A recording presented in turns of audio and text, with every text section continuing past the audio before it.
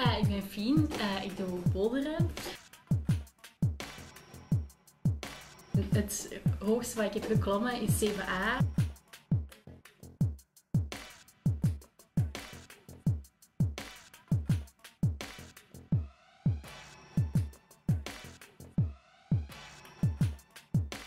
Um, het is gewoon heel gevarieerd. Je beweegt eigenlijk alle spieren, je oefent ook alle spieren. Uh, ik vind het ook leuk dat je veel van elkaar kunt leren, omdat veel mensen hebben een verschillende klimstijl en